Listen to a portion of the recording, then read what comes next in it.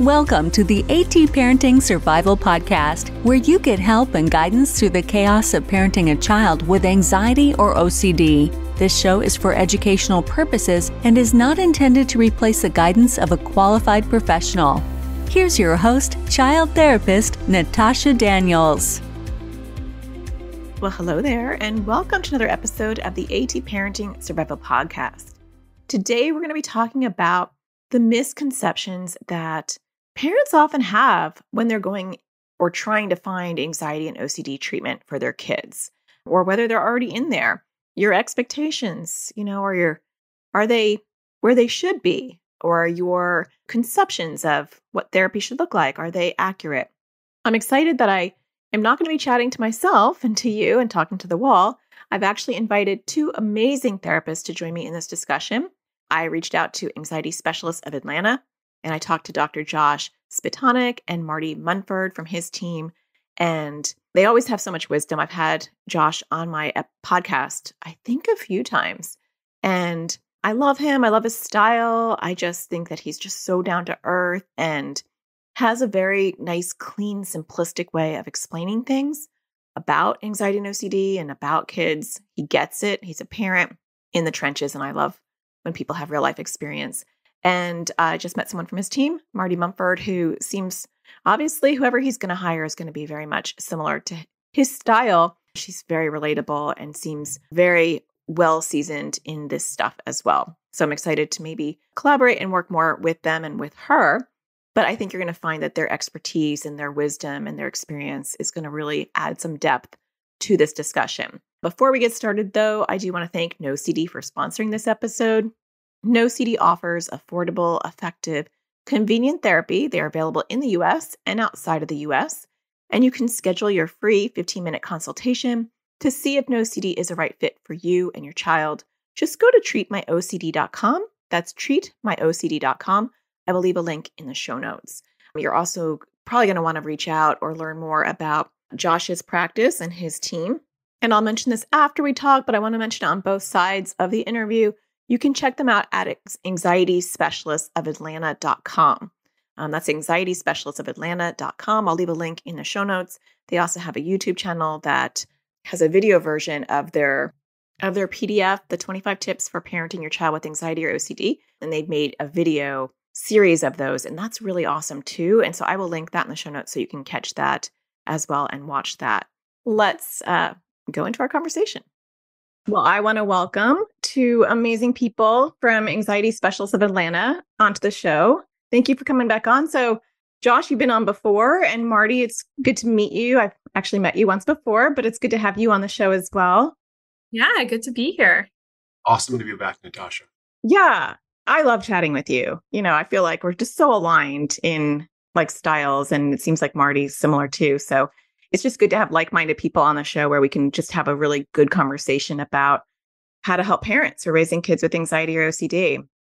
You, you know that we love all the networks you're a part of and all the support you do for the parents out there. We refer to you and your services and your platforms all the time. So we appreciate just the space that you're in as well. Oh, I appreciate that. I did introduce you before I brought you guys on, but I'll give you an opportunity just to talk a little bit about who you guys are and what you do. Sure. I'm, I'm Dr. Josh Spitalnick. I'm a licensed psychologist. I'm board certified in cognitive behavioral therapy.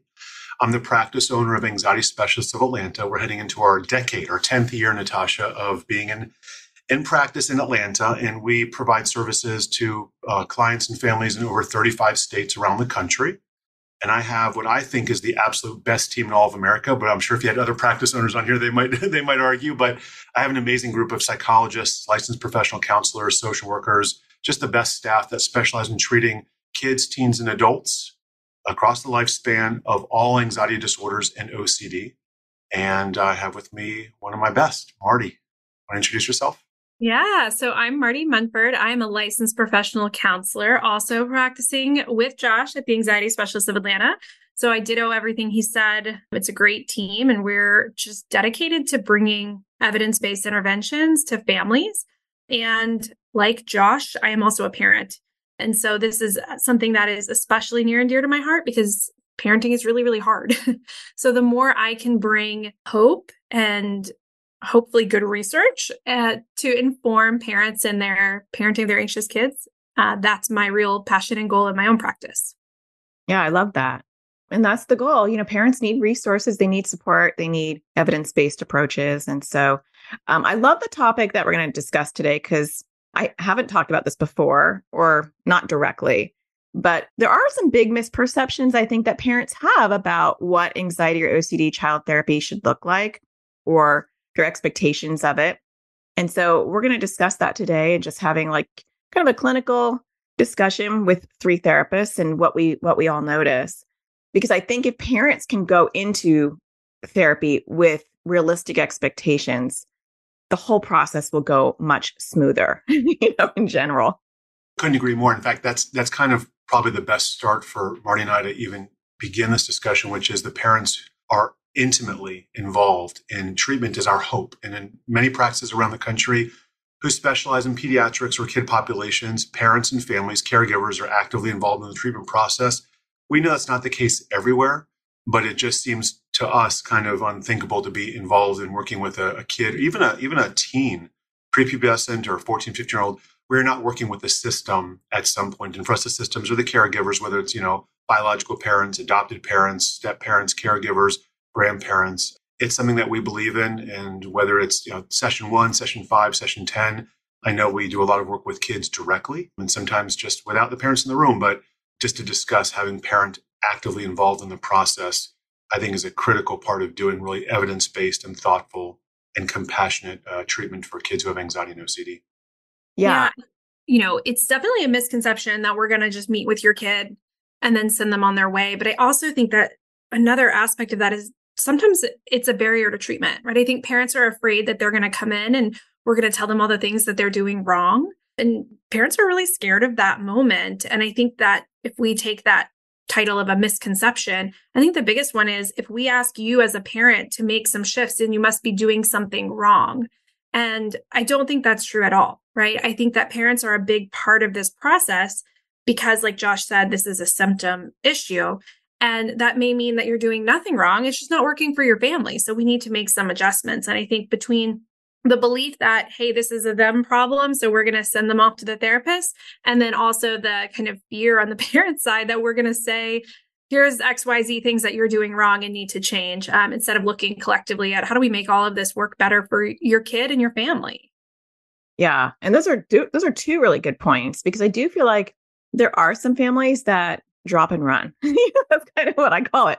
I remember one time i had this mom she dropped her kid off and this was like a decade ago or whatever but and he was so angry and i had never met him before and she just never came in or anything and she sped off because i had a really like i was right in the parking lot and he was like almost violent with me. He was so aggressive and i had no number to call her. I'm like and i had to tell the guy i was like i'm not going to force you to do therapy you know but it just that's like that's my like realistic drop and roll you know well I think, parents come in with different expectations of are you treating my child are you treating us are we involved? Are we not involved? And our clinic is probably not different than most out there, where we will do an evaluation or an intake, a, a single first meeting almost exclusively just with the parent system. We will then have a second session, definitely with the child, um, with the parents, of course. But when I first started practicing, Natasha, and this is going back almost 25 years, I would often do kid intakes. And this is not kids at the age of five, six, seven. I'm talking like 10 to 15 year olds with just a child. And, you know, with the parents being involved at the beginning and then parents come back at the end. And over the last 10 years, with a lot of the interventions that have come out that really do a lot of wonderful focus on parent focused interventions, whether the child's there or not, we might discuss those today. I know you've discussed them on, on podcast and a lot of your resources. Parents are critical in this process. So we love meeting with parents and caregivers at the outset and knowing that we're going to get to the, the kid inter- uh, interaction at some point this is kind of um, a nod or a, a throwback to um, you've been very gracious on your podcast and your Facebook channels about um, sharing our resources, some of the resources that, that Marti and I have put out there, uh, a document, um, Raising Resilience 25 Tips for Parenting a Child with Anxiety or OCD, that we wrote two, two years ago. IOCDF put it out there and we've done a, a YouTube series on it. Our very first note on that 25 tips is that, which is mom and dad, parents, you're not the problem. You're actually a critical part of the solution. And so we believe that from the very beginning, from the first phone call to getting them in for treatment, that we want to see the parents and the caregivers at the beginning no matter what shape your kid is in, just so we have a better understanding of what's happening, what your needs are. In this case, with that mom, maybe Natasha, your frustration level, you're up, you know, how upset you are, and what are we walking into? And so I just think that's really good, healthy, and, and trust building practice to start with the caregiver and parent level. And we believe that that's an integral part of the first phase of treatment. Yeah. And if that expectation is, I am an integral piece of the puzzle, you know, like how my stress level is, what I do and my kids want me to over accommodate or stuck in an OCD loop um, or trying to avoid because of anxiety. And I like what you're saying about that shift of, you know, like what Marti was saying, it's not you're the problem. And so if you go in understanding I'm going to be a component of treatment and it's not because I'm a problem, but it's because this is a systems issue. You know, it's like treating one arm without the other arm. Like you're not going to make progress. I think that's a good reframe. I do also want to say this episode isn't about this, but as we're highlighting misperceptions or misconceptions, you might also be, you might already be in therapy and might be like, well, that's not happening for me. And even though that's not the topic, we'll touch on that periodically. Like that is something that you should request. If you're not seeing that, then it's something that you can actually request and make happen if you have a flexible therapist to say, I want to be part of it. I want to learn what I'm supposed to do as far as pulling back my responses. Parents need coaching. And that's, I think that's a key. And you guys obviously think that's a key part of treatment just because the therapist isn't doing what Marti and I are going to recommend. And there's three therapists here on this podcast, Natasha, me, and Marti. We're recommending things that we believe are very effective and helpful and, and research based. But not all therapists do this, and that doesn't mean you're getting inferior quality care. It just means that, like you said, I, I believe if you you can advocate for your needs and advocate for what you want from the therapist, and most therapists, you know, they're willing to accommodate and be flexible with that. If that's going to get the end result, which is the family and the child in a better place, uh, most therapists are going to work with that request. I think that's a pretty natural thing to expect. But not all therapists are going to do the things that Marti and I do, and that that's okay too. Well, and you can take a team approach, right? So I think that's a common thing that we're starting to see more and more in our practice is that a child is working with a therapist that maybe they've got great rapport, maybe things have been going really well and they're seeing progress. But sometimes that therapist has noticed, or maybe the family noticed themselves, that there is a parent component here and they don't want to disrupt what's already going on. And so we may work in tandem with another therapist to be sort of the parent coach. Usually we're using the SPACE model from Dr. Lebowitz, um, which is supportive parenting of anxious childhood emotions. And so there's ways to kind of pull together a collective approach that meets that need. And so the the biggest sort of tragedy of that would be for the family to say nothing, right? And just say, man, I really wish I knew more what was going on, or I really wish I was a part of this. Or worse, you know, being in that tension moment you know, we were even discussing this before we started recording, right? That there's these constant tension moments with your kid of when do I push and when do I wait? And if you're not in those conversations, you don't get a lot of guidance on how that might affect or inform their treatment. Yeah. Yes. Good point. So, what other misconceptions are you guys seeing? So, the one that I think I'm most passionate about myself is the idea that they're coming to therapy to make their kid calm or the idea that if your kid is experiencing distress then there is something wrong right? yeah. Um, and so i think that's a huge one because one you know josh and i were talking a little bit about these topics beforehand too and how it kind of all leads back here too because one of the other misconceptions that we might see in terms of you know is my kid distressed is that idea of like how quickly can we get to a tool a task a coping skill something that feels very interventiony, right? And if we're assuming that every sign of distress is a problem, it's going to massively affect how you feel your kid should be doing in between sessions, right? So if we can kind of get that baseline understanding of there is a level of distress that comes with life that we want people to have because that's the total human experience, it's going to definitely change what our goals are and it's going to inform how and when we use intervention. Yeah, that's such a good point. Because how many times, maybe this, I don't know, but I'm sure this has probably happened to you guys. How many times do you get a call or an email from a parent after doing exposures in session or they're doing exposures at home and they're more, I've had parents who are more stressed than actually their child because their child is feeling, feeling some discomfort around the exposure or they're still talking about it or they're now wanting to do compulsions and that expectation, you know, to set out in the front on the front end of why why discomfort is helpful, why learning how to sit with those struggles is helpful, I think is so key. it, it's why every nurse and pediatrician in America, when you get your booster shots or your vaccines, they say your arm is going to probably be sore for a few days. Because when you're, you know, obviously if your arm starts turning colors and stays away for too long, call your pediatrician. But when they tell us your arm is going to be sore for a few days and we believe that's what's going to happen, and if it's not, great, my arm's not sore. But if my arm is sore for a few days and they told me that, I have nothing to worry about. It's that same sort of preventative idea here, which is tipping off to families and kids that we're going to be doing some really tough things that require bravery and courage. But doing that, which is what Marti discussed, is going to actually intentionally bring some distress to the experience. That's actually expected. We actually want that. That's what builds resilience. We're not doing things that are dangerous or unethical that are designed to ruin the day, but they're going to leave a little bit of a, you know, a lingering discomfort in the, the equivalent of the arm. And just know that's going to happen. And if you're prepared for that and you know that, the way your child struggles for the rest of the afternoon, maybe for the next few minutes, maybe the way you're watching it and feeling your own distress, those are expected outcomes. And I'd ask then, what do you do when you're feeling a little bit of extra distress when the moment's over? And that's just another great place for intervention, which is planning for those moments when the moment is done, whether Natasha used the word exposure, whether it's a live accidental exposure or you intentionally try and, you know, bring some anxiety to your life to increase bravery and resilience. When that moment's done, sometimes we feel like poo poo. It just happens. And so if you're prepared for that, th- those lingering side effects are not so scary and not so uncertain.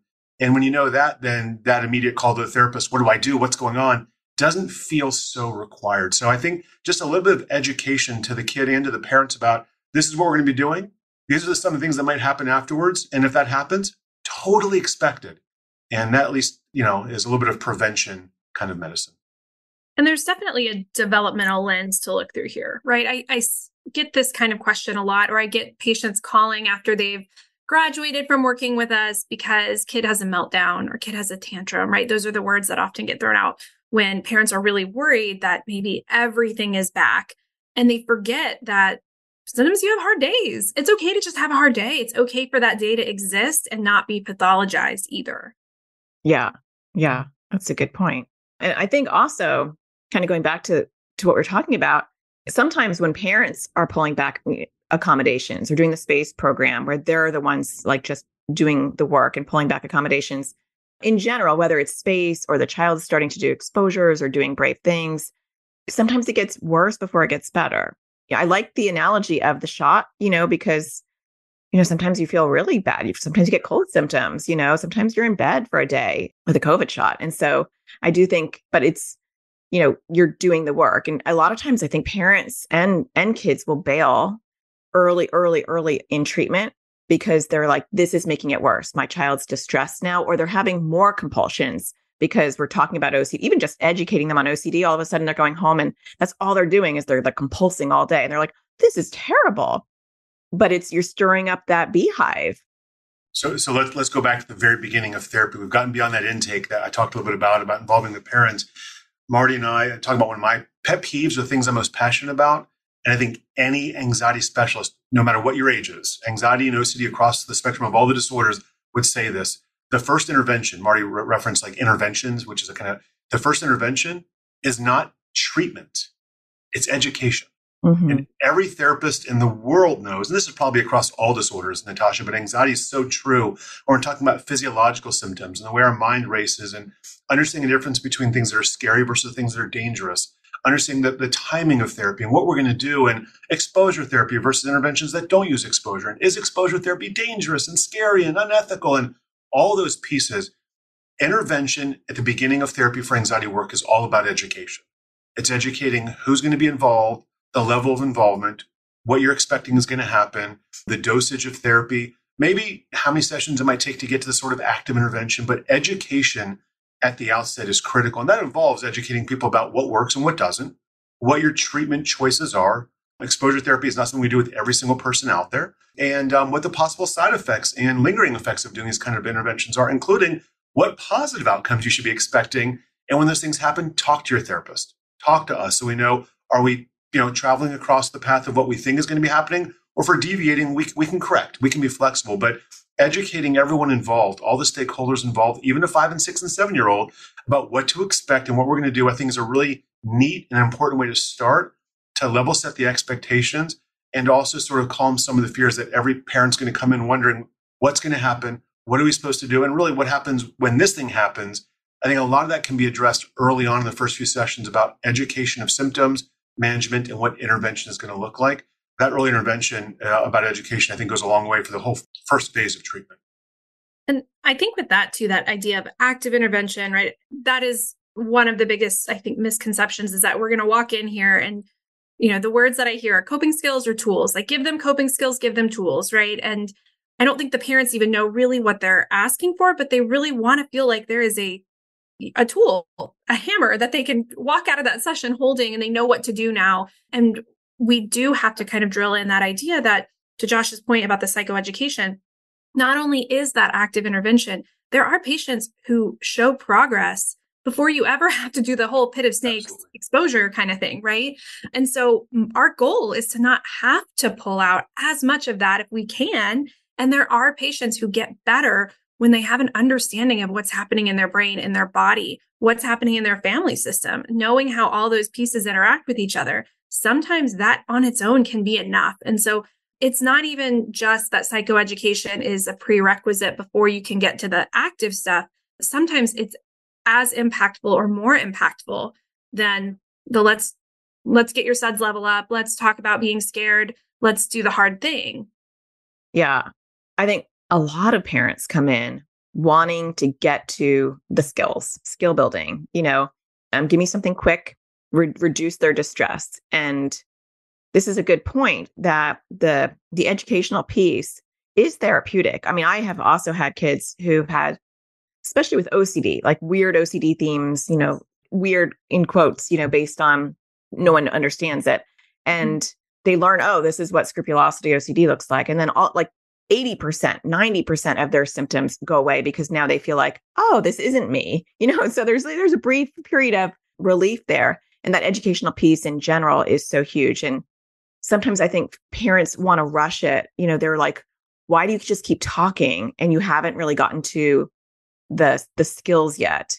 And to understand that the educational piece is therapeutic and necessary. And I always tell kids and parents, we're going to build long-term skills like and it's not going to happen overnight and i want your child and i want you to understand why we're doing these things and i think they're kind of expecting square breathing just teach me square breathing you know teach me like they just want like really fluffy you know those are good ancillary supports but they're i think that that's what they want uh, they want like a workbook of just you know yoga poses and and to understand the deeper value of anxiety and OCD and how to navigate that throughout life is is going to be much more in depth. Well, and even just looking at what you just said, right?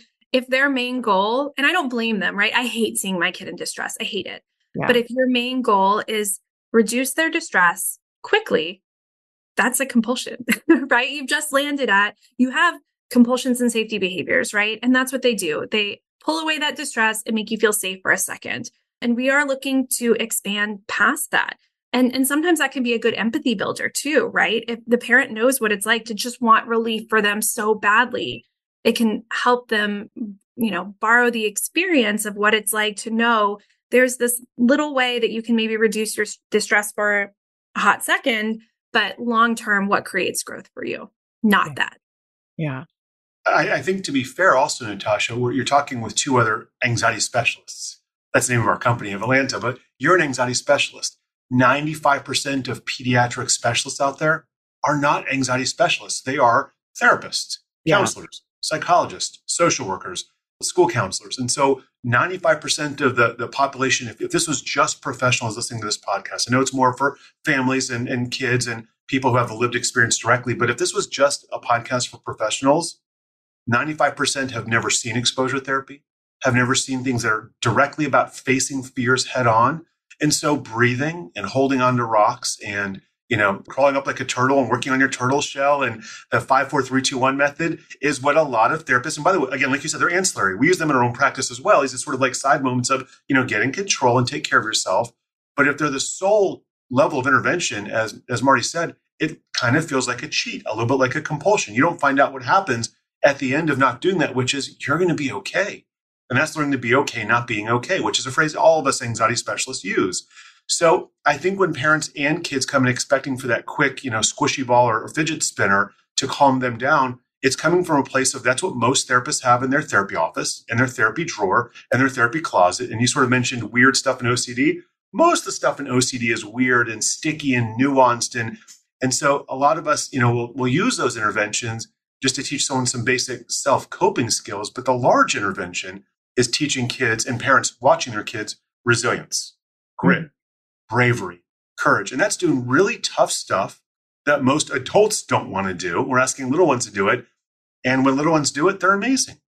And they're having fun. We, we actually, I know this is this is a podcast here, but the, you can't see the video, but just this weekend we had a beautiful event in our parking lot here in Atlanta that we called it was called Fear Fest. And we had we put visuals out on Instagram and Facebook. We had an amazing event here where we had probably 30 to 40 families show up. These are all families that either we had seen in the past or that we're currently seeing. And we had five, six, seven booths of weird, gross, creepy, funny, silly booths of social anxiety and sticky things and weird food exposures and touching odd things and trying new things and poppets that you step on and all things that are designed to teach kids bravery and courage, but by having fun rewarding them and doing activities that may not have looked therapeutic because it was in, on the weekend, Natasha, with a bunch of tents and handing out donuts and cookies and you know lemonade. But these kids were doing the most brave things that we would do every day in our therapy offices.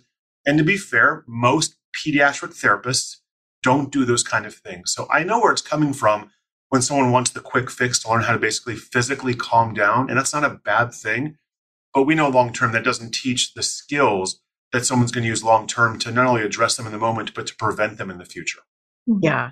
And that is, it's true. I mean, that is what you're most likely to get depending on where you're going. And, and that is, that's a very common therapy approach. And I think it's for parents to understand, especially if hopefully they're getting an anxiety or OCD specialist, because that's really, I, I really drum that into people, especially for OCD, but I think even for anxiety, that it's, not, it's not a sprint, it's a marathon and we're teaching our kids we're not working on how do we get this seven year old to self regulate and not be anxious we're how do we get this seven year old to be able to function at 27 you know that's my goal.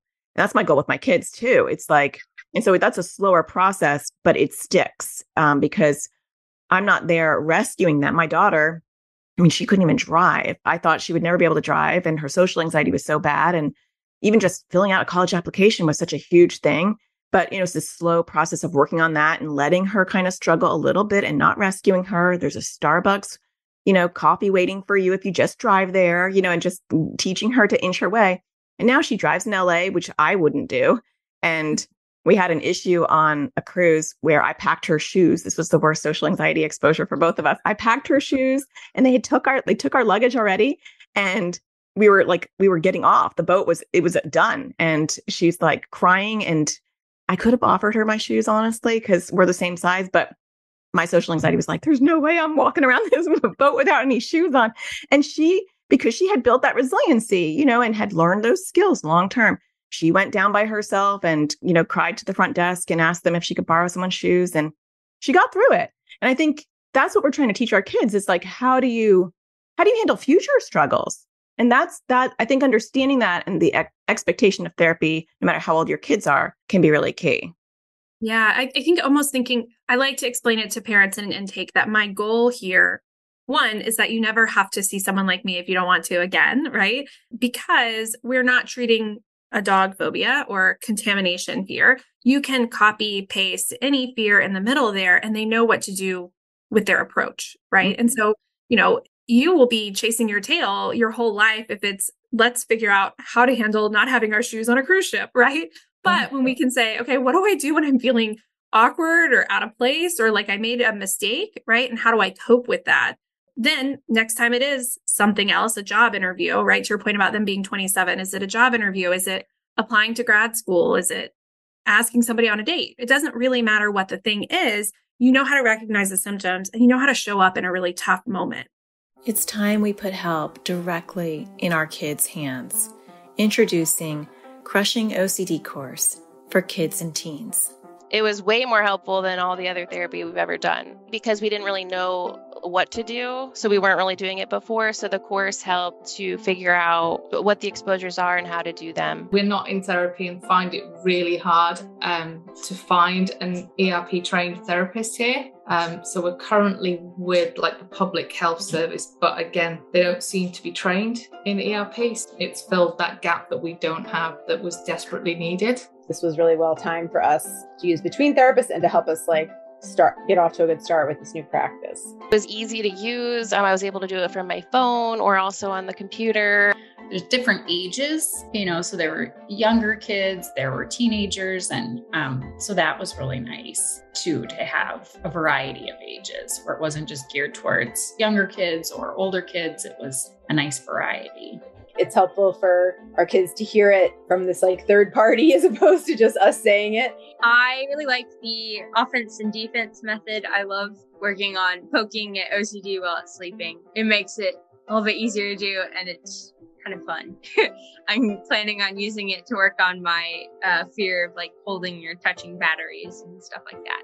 So it was really helpful, and I think a lot of other kids would like it. I thought that I was like the only one who had worrying about the weather and stuff.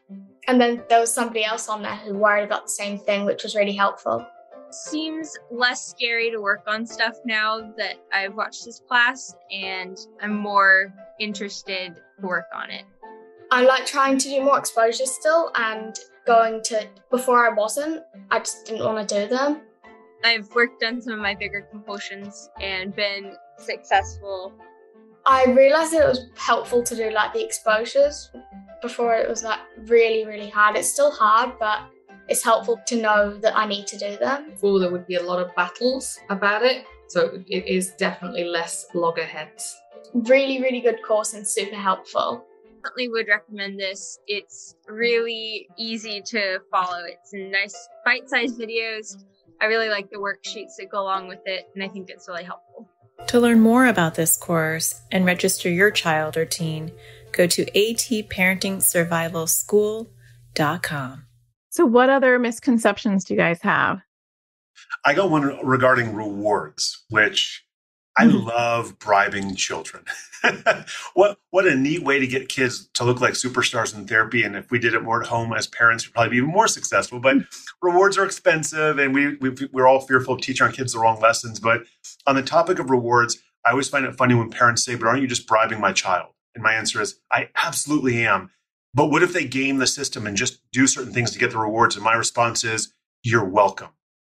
because the only way you get a reward on a good behavioral, you know, conceptualization, when a good behavioral therapist understands what the reward is worth, if the child's going to try and cheat the system to earn the reward, I'm thinking I'm now shaping the child, which really, by definition, I'm shaping the parents to shape the child to act in a certain way. I love doing that. There's no shame in a child acting in response or in, in search of something good. In fact, when you think about sort of psychology 101 stuff, anxiety is all about doing things to avoid bad, doing things to avoid yucky doing things to avoid uncertainty, doing things to avoid gross, disgust, fear, whatever the thing is. And that's called negative reinforcement.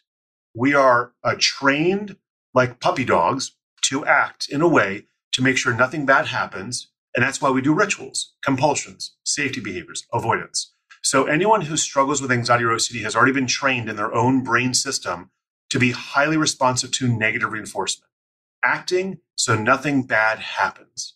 Our job is to, you know, engage in some neuroplasticity to make the brain a little bit more flexible, to get the kid to act in anticipation of something good happening. So, A, using rewards and bribery and therapy, I find to be a very positive way to engage parent to child, having fun about it, being excited about it, talking positive about it, dangling that carrot in front of them, no shame. The goal is obviously to eventually fade it out a little bit. But using rewards is just teaching the child to be focused on some other outcome that's more positive and more rewarding. Think it's a very good thing but it also does teach, teach the child to think in a different way about outcomes. And we're so focused on not something bad happening and trying to avoid that. Getting a child to focus on something good happening and acting aligned with that, I think is a very positive thing to do. So I just like the focus of rewards in therapy, and I'm not afraid of kids, you know, cheating the system or gaming the system for rewards. I think it's a very good thing. Um, it's just finding the rewards that are appropriate for your family, for your bank account, whether rewards are you know financial or you know, money at some event or $5 gift cards. And then the next part of rewards is always fun to me when a parent says, you know, my kid really is not rewarded by anything. as they're snuggling with their parent on the couch. And I'm thinking, oh, moms and dads, your kid may mm-hmm. not be rewarded by monetary things and concerts and, and sporting events and toys and shirts, but your attention is rewarding to them. So when a child says, I don't want anything, there's nothing I need, as the child melts down and the parent, you know, gets involved, I, I see what the reward is. And so sometimes the reward is not monetary. Sometimes it's not something you can get with tickets and coins. Sometimes it's parents' affection and attention. And I think that's an important thing to address as well, which obviously I would probably do with the child or the teen not in the room. But moms and dads, caregivers, you guys sometimes are literally the reward. And for anyone who has a child with ARFID, social anxiety, selective mutism, separation anxiety, sleepover fears, trust me, when they say there's nothing I want, I just want to be home with mom and dad, there's the reward. So I just want parents to be a little bit more creative and therapists to be more creative about what rewards are, how to use them, obviously how to fade them out so you're not just bribing the kid forever. But using rewards, I find to be a very kind, fun, and engaging way for the parents, the therapist, and the kid to have a lot more fun in therapy because despite bravery and courage and fear that we're working on, Natasha, therapy with kids should be and could be a lot of fun. Yeah. Well, Josh, I would say too, uh, you know, yes, we don't want to be dangling like a trip to Disney World in front of a kid forever, too costly. But we actually don't, I don't feel like we ever really fade out the carrot. We just transition it to a bigger why, right? I mean, the truth is, nobody would do anything hard if they don't have a big enough why. Like if you go back to what you said earlier about the shots, no one would stick their arm and get sore for two days if there wasn't a reason to do it, right? But the problem is, I think with kids, and, and even in work we've done with adults, I think this is often true anxiety can really blur up the idea of what's important, right? And help establish that why. And I do think that, uh, to your point, knowing your kid's currency and being able to meet it is helpful. And I always ask parents, would you work if you didn't have a paycheck? Probably not, because work's exhausting and you're tired and maybe your kid's keeping you up all night. And if no one was paying you to be there in the morning and do your job, you probably wouldn't go, right? So it's it's human nature to need a why. The problem is your kid might not see the why it's important to go to a birthday party or why it's important to sit with the uncertainty of an intrusive thought. So, in lieu of them knowing their why yet, let's give them something that is important to them so they can justify doing something that's really, really hard. And unless the parent wants to go do a bunch of hard stuff just for kicks, then let's not expect the kid will either, right? Yeah. And I think it's a good point because, you know, we're asking them to go off a cliff and expect that the parachute is going to pop out. And to get them to that cliff, we need some enticing. And one, I do agree. I think therapy should be fun. It should be exciting. It should, it's for kids. And two, I feel like it's hard to move that dial because kids uh, live in the here and now. They have tunnel vision. They don't see this is going to impact me in college or I'm not going this is going to grow bigger and the, you know, my issues are going to be harder. And so when we can entice them to take that extra step and then okay, you're off the cliff and now the parachute is sailing, you survived, you're good and we do that over and over, then intrinsically it becomes more hardwired. And yeah, then you move the needle and you have to earn this for a harder thing. You know, it's constantly moving. But I do, I hear that these are good ones you're picking because, you know, there's, there's a lot of parents who are very, there's like, there's niches and themes that go on in parenting, you know, in, in the parenting world. And there is a, there was a lot of movement and there still is, I think, of like, we're not rewarding you know, we're not rewarding our kids and we're not going to have a reward system, Ross Greene, you know, CPS model. And I think that's a hard shift for parents that are coming in with that philosophy, coming into an anxiety OCD therapist and talking about rewarding them for one, you get the parent, not Ross Greene parents, but parents who are just like, why should they earn something for sleeping in their own bed? Every other kid does that. So you get the more like old school parent, you know, I'm not going to reward them for things that other kids can do by themselves. Um, but then you also get on the completely other side of the spectrum, parents who are, you know, following kind of like gentle parenting or Ross Greene or, you know, parent, uh, kid led parenting. I don't know, whatever is in vogue right now. And I think it's to understand that this is different. It doesn't matter philosophically where you're at, but that to get them to go over that cliff, these incentives are really going to move the dial. And I even actually interviewed Ross Greene to get him to tell me that it is okay in in this relationship to have incentives to offer your kids. Um, as long as what I have found with my kids is one, they're starting to make the association of I'm doing this really awkward social anxiety thing and I'm getting rewarded. And so that A plus B equals C, that Pavlovian response is actually getting rewired of, you know, talking to a stranger means Robux. And so I have, there's now there's this positive connotation to talking with a stranger. And two, I feel like my kids then naturally progress where like now they can do that and they don't need me to give them any carrot. It's like now we're on to the next thing and the next thing. And most most kids get that. I mean, even though I talked about you know fading it out, most kids recognize at some point these rewards are not going to be continued. But as, as Marti said, rewards as parents to child do continue. They continue for different reasons, for different whys, and they get bigger or smaller, and they're more developmentally appropriate. And we find different times to, to give them out. But one of my favorite, listen, I'm, I'm 20 years ahead of Marti professionally. She is twice the parent therapist time. I'm going to get to that point as the, the next misconception in a second. I want to share this. In our 10 video series that we did, Natasha, on raising resilience, one of my most favorite things Marti said, just to give her so much credit on this, she said, We're here to change not the symptoms, but the system. And that sounds like, I don't know, Marti, if you made that up, if you heard this somewhere, I thought, how have I never said that phrase before? It was brilliant, which is parents who are coming in who are exhausted and beaten down by their child's anxiety. I mean, being a parent, we all know is tough. Parenting a child with anxiety, it's exhausting. It sucks the life out of the room. Often, if, if that's not the only child, you know, it becomes the identified child for a while, if not weeks or months. As parents, we feel deflated and frustrated, and we don't feel like great parents. And so we're asking them to come in and reward their kid for stuff that, as you said, Natasha, kids already do. We're trying to change a system. For some reason, something right now is not working, parents. And if we can help you change the language, the energy, the tone, the good mojo in the house, that if that one tiny thing changes and you're not looking for their good behaviors, which is hard to do when there's so many bad ones we're so stuck seeing, if you're not looking for that one good behavior to then give them a reward and we've changed that tiny part of the system, I'm sorry, but that's a huge shift in family functioning, whether it's around the dinner table or going to sleep or school stuff. So when Marti said we're here to change systems, we are really trying to, as anxiety specialists, change the system, the energy, the language in the home to focus on all the things your child can do that are brave, that are courageous when we're, you know, watching nonstop all the things that we don't want them to do. And as, as parents, we're constantly nitpicking. I, I'd ask any parent, and I'm calling myself out as well here, Natasha, watch yourself at the next five dinner tables. If you actually sit down with your kids at dinner, watch the next five dinner tables, how many kind things you say to your child and how many nitpicking, annoying things you say to your child, and just count the math on that. We have conditioned ourselves to be really hyper focused on all the things they're doing wrong to shift even a little bit in the direction of what they're doing right, I think is just a real beautiful, positive shift in, in, in the family functioning. Another misconception I want to throw in there, and I'm saying this just to bring uh, Marti and other people to the forefront. I'm very proud of being a psychologist. I'm a board certified psychologist. I'm in the top 5% of all psychologists because most of us don't do that. An anxiety specialist is a different breed of therapist.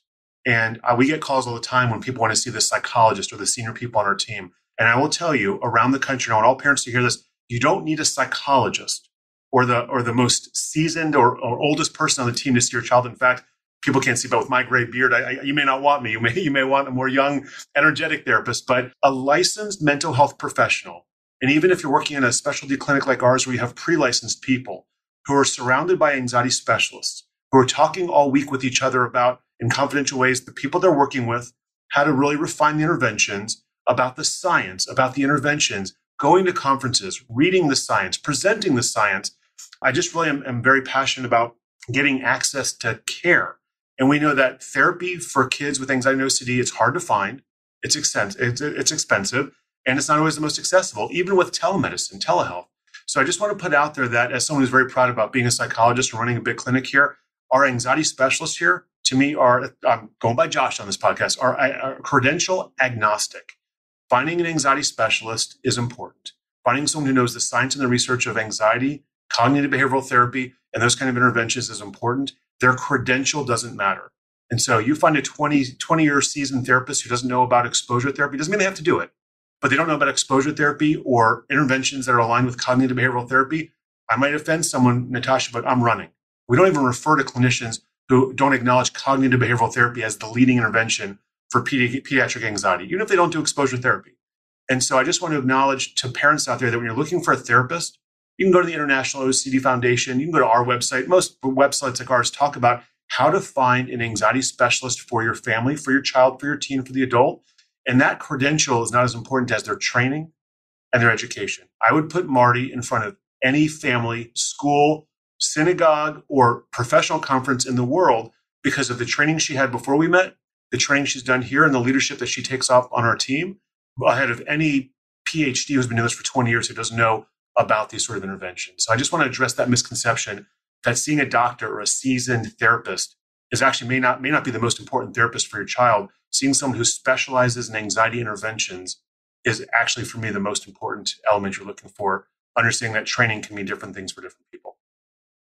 Yeah, that's a good misconception too. I see that all the time in my audience where parents are like, what degree do I need? Like, want to see, you know, I want to see. And they'll actually sometimes, if they're really not knowledgeable, they'll say, I want to see a psychiatrist. You know, yes. you're like, okay, they don't even do therapy. So you're like, I like that credential agnostic. you know, I like that because you're right. I would rather send my kid to anybody who I know has been trained properly to treat anxiety or OCD and is using CBT or ERP for OCD than somebody who's been in the field for 30 years because it's a very specific skill set. And there are a lot of newer therapists that are getting amazing consultation and have a solid team around them. I mean, Mike, I would have my kids see anyone on your team because I know you have a solid practice. And I've actually talked about that with my kids. I'm like, you know, we can find other people to help you. And I think it's a unique skill set. And I, so I think parents are looking at, and we have all sorts of things after our name. I'm an LCSW. Marti, you're an LPC, NCC. Mm-hmm. You know, and we all have like, and these are all just like, you know, alphabet soup, but it's, you want someone who is a licensed mental pro- professional for sure. But then what, what other training have they had? And is it specific to anxiety or OCD? Well, and I think we have a, a lot of work to do in the provider community too of becoming more specialized, right? I think that people think of therapy as a very generalist perspective and that can also kind of keep people from getting the care they need, right? I see this a lot in, you know, I'm in all those you know, mom groups that are both helpful and terrifying on Facebook. And I see all the time people in my community, and I'm just there as a mom. I'm not there as a therapist, you know. I'm looking to get my child a therapist. Can anyone recommend someone? And people jump in and they're all giving names. And that's great that they had such wonderful experiences. But it also, we know nothing about this kid or this situation. And so I think a lot of times there becomes a big mismatch If this worked for this other person. Surely they're great for my kid. And people are forgetting that, you know, if I said, I need a great doctor for my kid, okay, are you going to take them to see a gastro or are you going to take them to see a dermatologist, right? Can both of those people probably look macro at whether your child is healthy? Hey, that's for the pediatrician, right? Or do you need a specialist, right? And I think that's another way that we can kind of educate the community a little bit better about if you are looking for a trauma specialist, what are the things you'd want to be doing? Or if you are looking for someone who is going to specialize in BFRBs, right? What is the type of training that you need to look for? And so for us as anxiety specialists, that's where we want to make sure people understand here's what makes us anxiety specialists. Yeah, I don't think you can't keep up on research with every little thing, you know, mm-hmm. and so I think finding someone. I mean, I always just skip the pediatrician go to the specialist because my insurance allows me to do it. I'm like, if my son's having issues, I'm we're going to go to the urologist. We're going to go to like, you know, the endocrinologist. I'm going right to the specialist. And I feel like mental health is the same way. I don't even feel comfortable treating body focused repetitive behaviors, BFRBs. Um, and even though that's in the world of anxiety and OCD, there are special approaches I haven't been trained in. I don't feel comfortable training in them. I don't like that topic. And so um, I deal with that at home. I rather send my child to someone who specializes in body focused repetitive behaviors. And so finding that expertise is really helpful. And it is tricky. I mean, luckily with PSYPACT, we're getting access more to more therapists. I was on your website earlier this morning and I said you were like available in like 30 states. It's like 30. We just we just launched a brand new website two weeks ago, so I'm pretty excited about it. But yeah, we're we see people in over 35 states now, which is exciting. I mean, that's amazing. Overwhel- overwhelming and exciting. Yeah. So, I mean, that's like more than half the country you can provide services for. Yeah, this started happening pre pandemic. I think the pandemic probably expedited it with a lot of states, and some of the holdouts are the classic ones like California. Uh, I think New York is still holding out, but it's about increasing this is your whole your podcast, your network, your Facebook, your YouTube channel, which I'm going to just say, well, I, I absolutely, I mean, my family's pro therapy. My family's benefited from therapy, and my family has used your podcast, and I've talked about it on your YouTube channel plenty in private discussions in public. Y- you are increasing access to evidence based care in the best possible ways. And, and I know you're a, a beautifully humble person. And you don't put yourself out that way, but you are probably the most right now impactful person in, in at least North America on parenting the anxious child. Whether people access your services or not, that's up to them. We promote it all the time, but increasing accessibility to affordable and evidence based care is what our team is about. This is not a, a, marketing thing, Natasha. We are busting the seams like every clinic. We don't need new yeah. clients and families, but we offer free support groups throughout the month for kids and families, adults and teens. We offer low cost group therapies online and in person. And I got, I'm trying to grow the, the team of all teams. You know, I'm, I'm not a hospital system, but we have 23 anxiety and OCD specialists seeing all ages. So I say we're not an mm-hmm. aged practice, we're a topic practice. We do anxiety and OCD, but your your network, everything you do is about increasing the good information out there to as many people who can hear it. And I just admire you for that. We're doing this in our you know corner of the United States, and PSYPACT has allowed us to see people across state lines using video stuff. But you know, seeing a five to seven year old on video with parents, it's not easy. It's not fun. It's it's not the most engaging. But it, but if we're going to be the effective therapist for you versus no therapist, I'm all in. But if I can get you someone close to home that you can see in person once in a while, I mean, Marti and I love seeing people in person. Seeing people on video is something we will do if it increases your availability for services. But I'm a big believer in for anyone under the age of 12, I'd love for you to be in office with your therapist. That just may not be financially or logistically practical. So it is what it is. But what I'm not in favor of is not getting care, not getting help. And so I'm just a very pro therapy kind of person professionally and personally. I'm pretty public about my family and our challenges we've had with our kids with anxiety and stuff. And I'm all in. But um, seeing people in 35 states is a privilege. It's one we don't take lightly. So when people reach out to us from afar, you know, we're honored.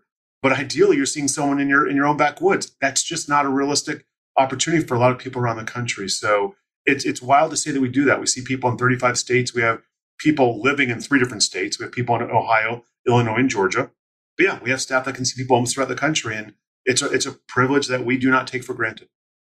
I think and kind of going to another misconception there too, and and why finding a specialist is so important. I think there is a misconception that you're going to be in therapy once a week forever right? And and that's what therapy needs to look like or should look like. Um, and i think that's a barrier to treatment for a lot of people because they assume it's in, it's inaccessible when it might not be. And so our goal is actually to be able to help as many families as possible and preferably to get to the point where they never need to see someone like us. And so the more resources that are out there, the more solid psychoeducation that's available to families for free or for low cost, right, the better. And, you know, I think people will pursue therapy more openly and be more open to seeing a specialist when they're not thinking about how do I build a relationship that I have to commit to forever for my child or for until they graduate from high school? Instead of being able to see this as something where you can learn and you can understand and you can improve and move on with your life right? And so i think all of those things too are, are, major misconceptions that walk in our door at intake is a lot of overwhelm of what am i really committing to? And they don't see this as something that can be treated and improved. Yeah it's definitely far from the psychotherapy of lay on my couch and we're going to do psychoanalysis for 20 years. You know it's skill building. And i do think like a lot of times i'll get a lot of emails and calls from parents who want they're like, I just want someone in the East Valley, you know, and that just mm. really bothers me. I don't know why. I'm like, and I'll normally respond a little bit like snotty. I'll be like, anxiety and OCD therapy, pediatric anxiety OCD therapy is like finding like a unicorn. And so if you have to drive across the valley for 60 minutes, that's hitting the lottery, you know, because it is hard. And I would much rather for someone to see someone in your practice or another practice that is anxiety and OCD specialized than being in person five miles away because it's convenient and it's local and they see kids and they treat everything. And I have worked, I mean, I do a lot of damage control. I mean, so much of my work right now in the AT parenting community is picking up broken pieces of incorrect therapy and the damage that it's caused um, the child and the family, and then connecting them again to good quality therapy like your practice. And so I feel like I'm I'm almost more of a social worker really at this point where I'm disseminating information. I mean, I think my roots are really starting to show, you know, both literally and figuratively. You know, like I'm just trying to educate the world so that we are getting more therapists who are like, oh, like I get a lot of therapists that reach out to me and be like, I, I don't know anything. You're making me realize I, do, where can I get some extra training? You know, so that that knowledge piece of like, oh, there is some specialized, there's a need for specialized training, both for therapists and for parents. And also to know that whether you're getting the right kind of treatment or not and and finding that right treatment. I, I think that damage control piece, Natasha, is hitting me in the heart because we spend almost as much time bringing new clients and families, kids, teens, and adults in here as we do getting people placed in the proper place somewhere around the country. I have a practice manager. I have three directors, two clinical directors, and a community engagement director. I have a staff of 23 therapists. And we spend a lot of our time behind the scenes that no one gets paid for and that no one gets acknowledged for and no one's giving five star reviews for or one star reviews for, for all the social work and advocacy that we do to get people to the right place. And I'm very firm about this. I don't care if you come to see us. I just care that you get seen by somebody if you're in need. And so sometimes that means you're not going to be seen by our team either because we can't get you in or because we don't have the right skill set or because you want a 7 p.m. appointment because you don't want your daughter to miss ballet. Well, if I can't accommodate that, but here are the clinics I, I swear by. I can't tell you about their pricing or their availability, but I would trust my own child to go to. And so we spend a lot of our time putting out fires, answering misconceptions on phone calls and over emails, having free consultations all the time, and getting people to the right place because unfortunately, if you're not inside the mental health system, it's hard to navigate. And you know that. And so, Natasha, you and I are blessed to have colleagues around the country that we can hop on a Facebook group about or put an email out and probably find someone in almost any corner of the country. But most families and, and people with lived experience, they don't have that accessibility and, access and information. And so, you know, uh, it's again, it's another thing that we don't take for granted. I, I'm grateful that people put their trust in has to be either their healthcare provider or for us to get them to the right healthcare space and for Marti and I, like we want people to get the most effective short-term treatment as possible so they can move on with their lives. And if we're able to help you do that somewhere else, I'm as happy as if you do it at my practice because getting great therapy is life-changing. It truly is. Yeah. Well, I will leave. Hopefully, you won't be overwhelmed. I know you guys are busting at the seams, but I will leave a link in Every the clinic is. Yeah. I mean, I think then that's parents need to understand, you know, there's just not enough practices, but I will leave a link in the show notes for your practice and your resources um, and your groups and your YouTube channel because I think you're just producing like invaluable resources and support. So I appreciate you both coming on. It's been a pleasure to be here. Thank you, Natasha. Yeah, thank you, Natasha. I could talk to them all day long because what they say is just so accurate and so on target and a lot of wisdom there to share. So, again, I will link their YouTube channel so that you can watch that a series that they have on 25 tips for parenting your child with anxiety or OCD.